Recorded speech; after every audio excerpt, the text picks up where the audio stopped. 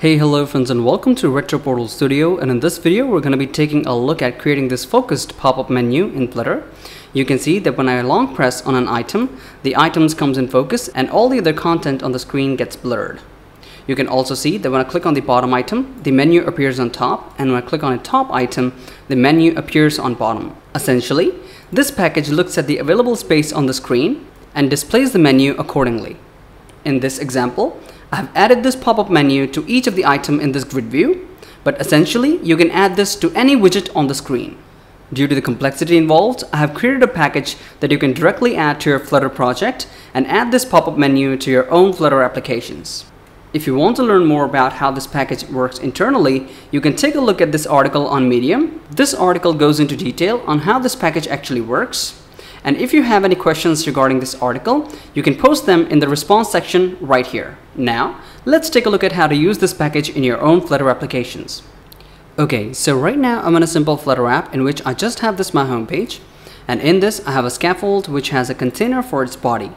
In the container, I have this column, and for the first child of this column, there is a row, and in the row, I have this text view and this icon and a circular avatar. For the second child of this container, after the sized box, I have this text field that you can see right here.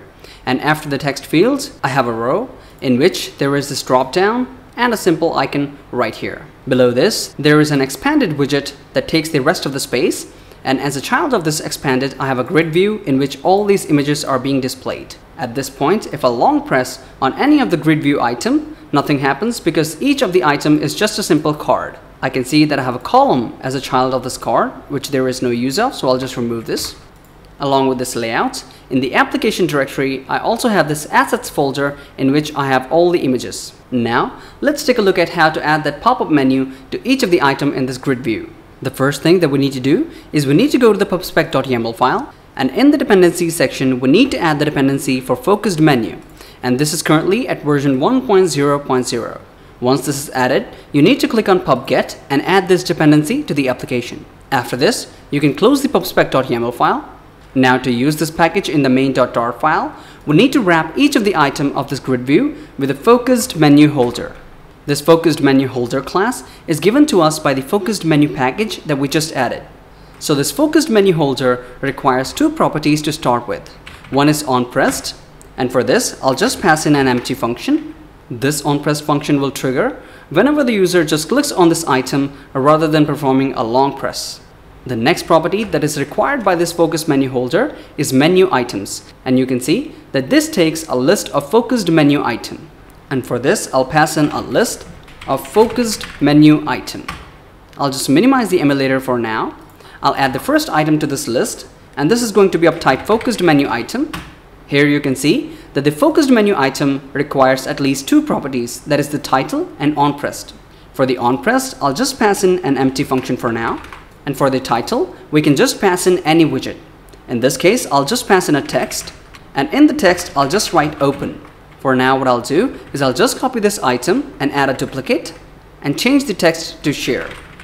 And at this point, if I close and run the app once again, you can see that when I long press on an item, a menu appears with two options of open and share. And if I click on the bottom item, the menu appears on top. Now, let's take a look at some customizations that we can add to these menu items. For this, I'll just minimize the emulator and come back to this focused menu item. In this focused menu item, you can see that we have two more properties available. That is the background color and trailing icon. So this trailing icon property requires an icon widget and in this I'll just pass in an icon of icons dot open in new. Now what I'll do is I'll go to the second item and here I'll also add the trailing icon and I'll copy this focused menu item two more times and I'll change the text and icons for these. Now just for the last item I'll also add in a background color and for this I'll pass in colors dot red accent. Now because of the background color I'll make the text white and I'll reformat the code and I'll also change the color of the trailing icon to white. At this point, if I run the app, and now if I long press on an item, you can see that the menu appears and the last item of this menu is red in color and the color of the text and the icon is white. So you can add as many customizations as you want for each of the menu item and along with this, there are a lot of customizations that you can add to this focused menu. So let's take a look at each of them. The first customizations that we can take a look at is the blur amount and the blur background color.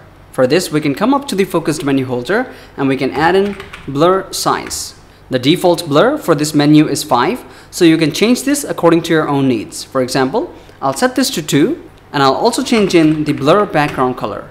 And I'll set its value to colors.white. At this point, if I run the app, you can see that when I long press on an item, the amount of blur is reduced and the background color of the blur is also changed to white. We can also set the blur size to 0 and if I run the app now and long press on an item, there is no blur at all. So I'll change the blur back to 4 and I'll change the background color of the blur to black. And the next customization that we can do is change the width of the menu. For this, we can pass in a property of menu width. For now, as a value for this menu width, I'll just pass in media query dot off context dot size dot width into 0.5. If I run the app again, you can see that when I long press on an item, the width of the menu is now 50% of the width of the screen. And like the width of the menu, we can also change the height of each menu item. For this, we have to pass in the property of menu item extent. For now, I'll just pass in a height of 70. And if I run the app once again, you can see that as the menu appears, each of the item in the menu has a height of 70. One more thing you can observe with this menu is when the menu appears, there's a small animation that is taking place. You can also turn this animation off. For this, you can just pass in a property of animate menu items and set this to false. Now, if you open up the menu, there's no menu item animation. Along with all this, if you want to make the transition of this menu smooth, you can pass in a property of duration and for now, if I set the value of duration to a milliseconds of 500, you can see that the menu appears quite smoothly and it goes away in the same way. This duration property basically changes the time in which the menu appears. For now, I'll set this back to 200 and we can now take a look at the last property of customization that is the menu box decoration. And this menu box decoration basically applies to the box that is holding the menu items. For this, we can pass in a box decoration and for now, I'll set the color to colors.blue and I'll also add a box shadow. And for this, I'll pass in a box shadow of colors.red. I'll set the blur radius to 5 and a spread radius to 1. And now if I run the app once again, you can see that the box that contains the menu has a shadow of red color and the background color between each of the menu item is blue. I'll remove the menu box decoration for now you can see that there are a lot of customizations that you can add to this focused pop-up menu. And if you have any other suggestions in mind, make sure to leave them in the comment section below and I'll consider adding them to the package. I hope you find this video useful and if you do, please make sure to hit the like and subscribe button and also consider rating this article on Medium and consider supporting this package on PubDev. You can also check out the code for this package on GitHub and take a look at the example code right here. See you next time. Peace.